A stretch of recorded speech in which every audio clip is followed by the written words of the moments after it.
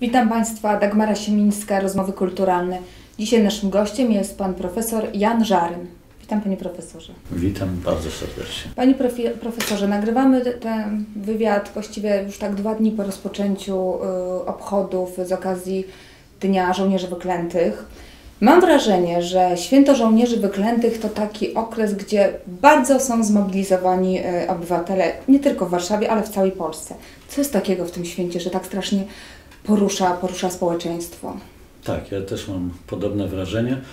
E, W tym roku po raz trzeci obchodzimy e, ten Dzień e, Żołnierzy Wyklętych i z roku na rok mam wrażenie, że przynajmniej tak dookoła mnie, tych środowisk, które w jakiś sposób mam w swoim zasięgu wzroku i odczuwania, to ta mobilizacja i chęć uczestnictwa jest coraz większa. Myślę, że e, wywołane jest to trzema co najmniej takimi ważnymi powodami. Po pierwsze, to jest e, autentyczna próba e, zadośćuczynienia tym wszystkim, którzy nie tylko byli mordowani, aresztowani, represjonowani, siedzieli w więzieniach stalinowskich, ale byli oni przecież też pohańbiani wraz ze swoimi najbliższymi. E, To jest e, środowisko ludzi e, podziemia niepodległościowego, w jakimś sensie podobne do rodzin katyńskich. To jest bardzo wielki obszar społeczeństwa polskiego, które zostało dotknięte bezpośrednio nie tylko mordem w rodzinie partyzanta, żołnierza, wyklętego działacza niepodległościowego, ale też dotknięte tą hańbą, że to był bandyta, że to był wyklęty przez cały okres PRL-u człowiek. I teraz wydaje się, że to wszystko jakoś podocierało do ludzi. Nie tylko do tych rodzin, które żyły w tej świadomości, ale także do tych przyjaciół, znajomych, dalszych znajomych, jeszcze dalszych znajomych.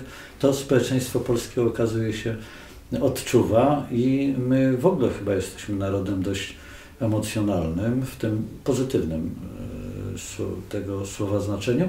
Jesteśmy chyba też narodem, które, y, który mm, wie tak instynktownie, gdzie jest prawda, gdzie jest fałsz, gdzie jest sprawiedliwość, gdzie jest coś do naprawienia. I to jest y, akurat y, taka mobilizacja, na którą nie tylko nas stać pod względem etycznym, ale także wiemy, że ona rzeczywiście jest możliwa do ogarnięcia. No, kiedy, jak nie w niepodległej Polsce, tworzyć właśnie takie fakty jak świętowanie na rzecz y, tych, którzy o tą niepodległą Polskę niegdyś walczyli. Także sądzę, że to jest taka cała grupa trzech podstawowych czynników, które mm, e, ze sobą się splatają i które tworzą nam ten dzisiejszy fenomen.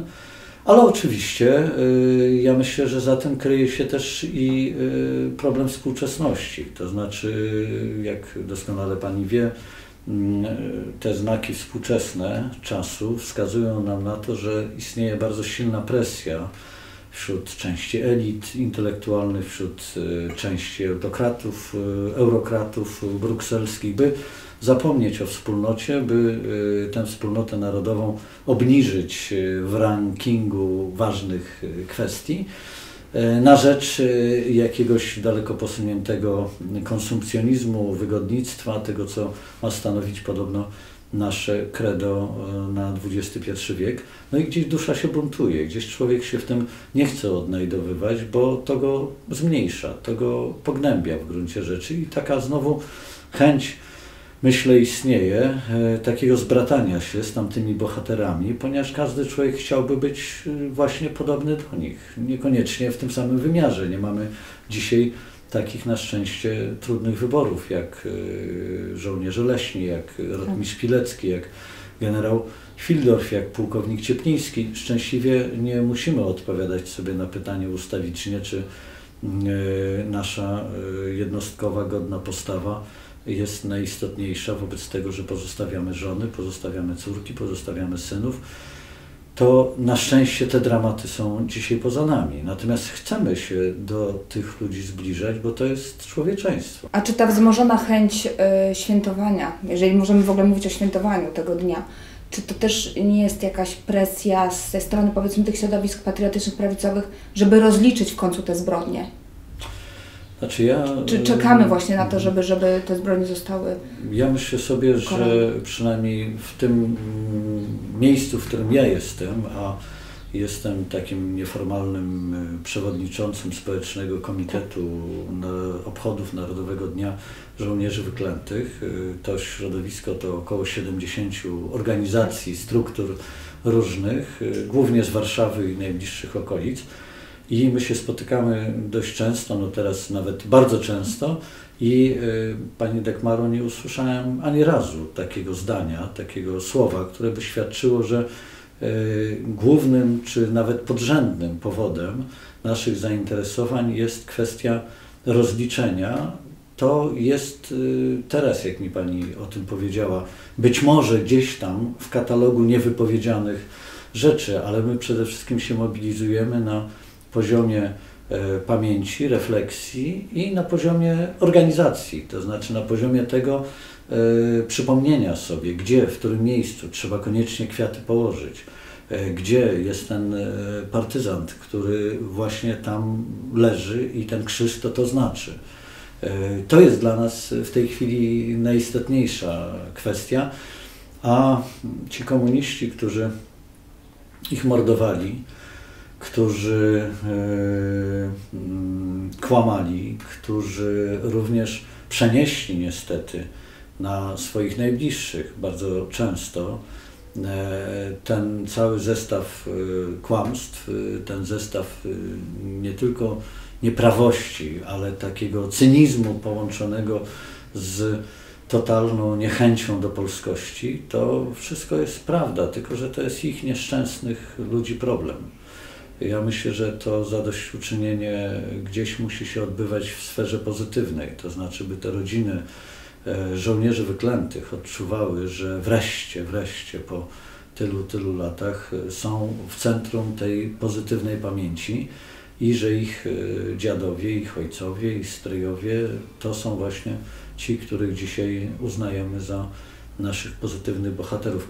Myślę, że już poważną, taką a, daleko idącą w konsekwencjach mm, y, mm, deprecjacją tych rodzin esbecko-ubeckich, mówiąc w skrócie, jest to, że nie potrafi się z tego podnieść. Bo przecież ci, którzy z kolei e, wybierają prawdziwą historię Polski, wybierają tę drogę dzisiaj, a nie trzymają się zawzięcie tamtych wyborów ojców i dziadów, y, są częścią nas, naszego dobrego społeczeństwa polskiego i oby takich było jak najwięcej. Choć rozumiem po ludzku, że jest to trudne wyjść z tego kłamstwa, z tego cynizmu, z tego, co stanowi pewne podglebie wychowawcze. Jeśli chodzi o sprawy organizacyjne, jak będą wyglądały te obchody w Warszawie? Jakie są E, najważniejsze punkty? Tak, no trzeba sobie powiedzieć, że ponieważ jest 70 organizatorów, to można powiedzieć, że cała mapa Warszawy No i okolic będzie usiana różnymi zdarzeniami, ale z tego wyłówmy kilka takich e, Najważniejszych. większych ryb. I tak, e, przede wszystkim bardzo serdecznie zapraszam na mm, e, mszę świętą jutro, 28 lutego, która się mm, odbędzie o godzinie 19 w kościele Świętego Krzyża, niemal równolegle, bo o 18 tuż obok w mm, Starym Buwie Uniwersytetu Warszawskiego y, NZS y, tamtejszy też organizuje y, spotkanie, między innymi z panem Witalisem Skorupką, jednym z ostatnich żyjących żołnierzy wyklętych. W kościele Świętego Krzyża z kolei od 19 będzie msza święta, a następnie koncert z udziałem Leszka Czajkowskiego, Pawła Pikarczyka. Recytować będzie e, Jerzy Zelnik. wiersze Jerzy Zelnik, wspomnienia, właśnie e, między innymi dzienniki żołnierzy wyklętych prowadzone przez nich w bardzo niekomfortowych warunkach totalnego ukrywania się. Myślę, że to też będzie bardzo, bardzo ciekawe. No a główne obchody, bo to będzie takie preludium, natomiast główne obchody oczywiście 1 marca w 19 punktach w Warszawie od godzin porannych po głównie rzecz jasna godziny popołudniowe. E, Wszyscy będziemy uczestniczyć w tych lokalnych uroczystościach, składając kwiaty, będą przemówienia, będą krótkie wykłady historyczne. Ja osobiście zapraszam tam, gdzie ja będę, wśród tych 19 miejsc, czyli przy Świętej Katarzynie, kościół na Służewiu, tam przy pomniku, razem z władzami gminy Ursynów, z proboszczem kościoła Świętej Katarzyny, znanym i cenionym powszechnie, księdzem prałatem Józefem Majem i z działaczami mojego stowarzyszenia, czyli Stowarzyszenia Polska jest najważniejsza, nie mylić z partią. Będziemy tam i tam serdecznie zapraszam. A następnie z tych 19 miejsc usianych, jak mówię, na mapie całej Warszawy i okolic, a więc warto też dla na przykład mieszkańców Pragi, żeby zajrzeli do Rembertowa na ulicę Szwedzką na 11 listopada, Cyryla i Metodego, Strzelecką. Po naszej stronie z kolei by znaleźli chwilę czasu i poszli albo na Koszykową, albo na Mokotowie ulicę Rakowiecką do tamtejszego aresztu.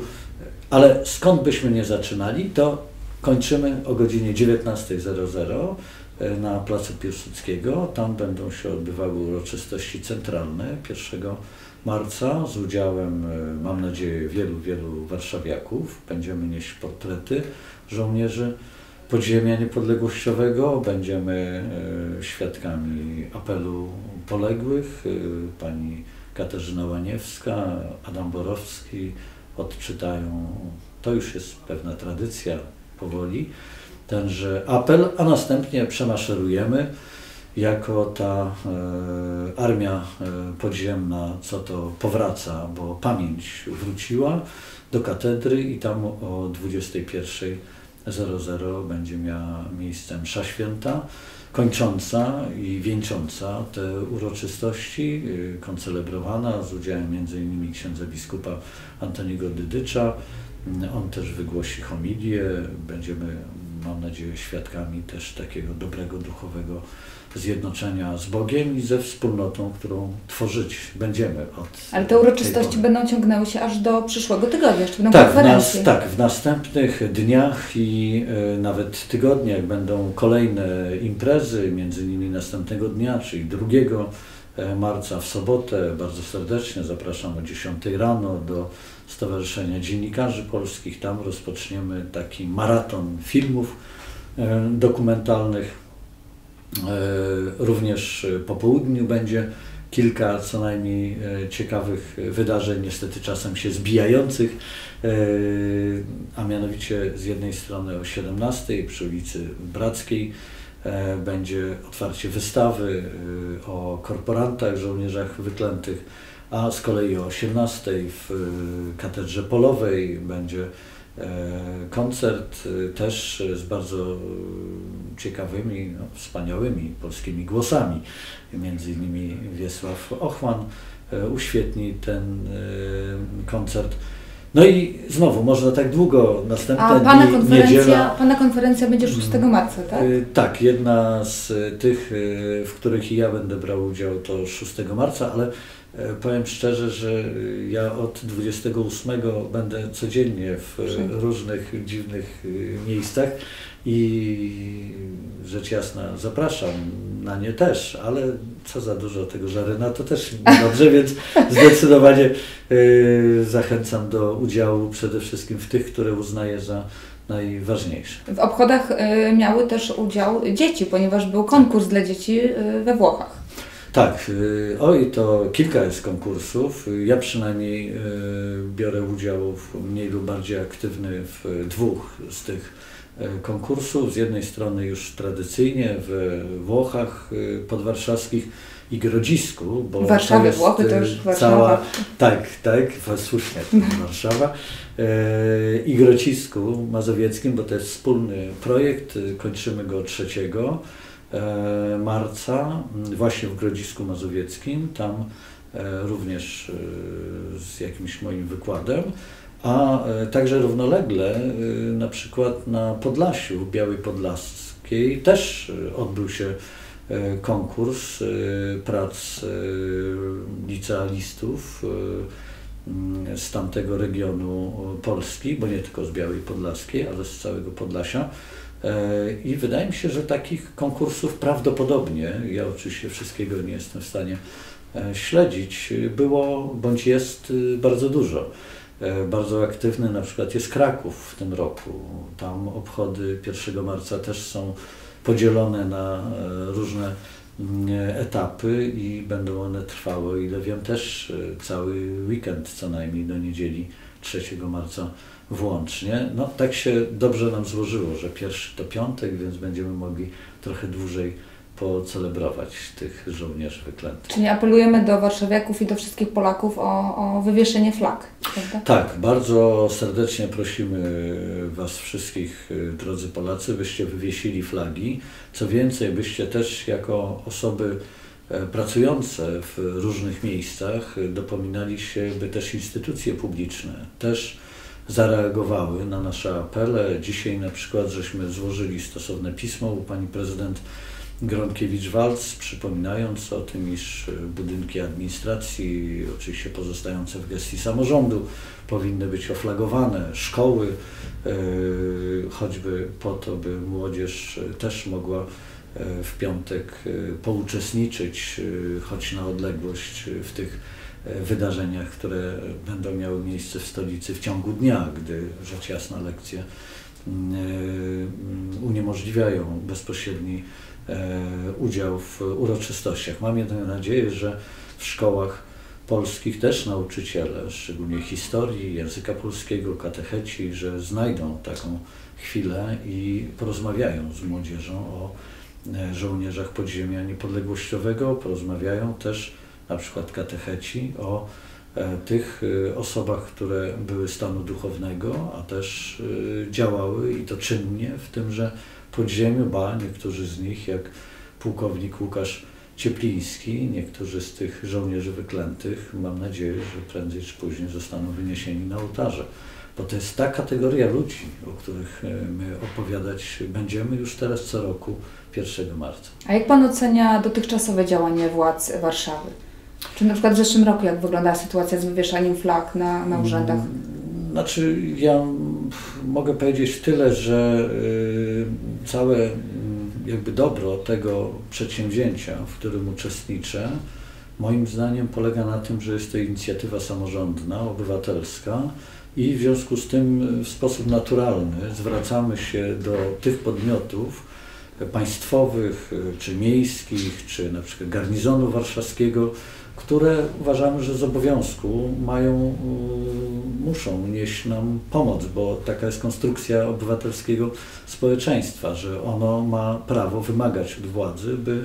A państwo jest, y, za, święto jest państwowe także. Tak jest, a, ale też inicjatywy właśnie obywatelskie, samorządne, wypływające oddolnie, E, powinny być zgodnie z e, polską konstytucją, też z polską dobrze rozumianą racją stanu, obsługiwane przez urzędników, przez tych, którzy mają e, instrumenty, narzędzia władzy i mogą i powinni nam pomóc. To nie jest łaska ani żaden, że tak powiem, tutaj ukłon w którąkolwiek ze stron, tylko po prostu naturalne E, prawo, jakie, jakie istnieje w normalnym społeczeństwie. Jeżeli mam kogoś wyróżniać zdecydowanie, to najlepiej bez wątpienia układa nam się współpraca z garnizonem warszawskim, z wojskiem polskim.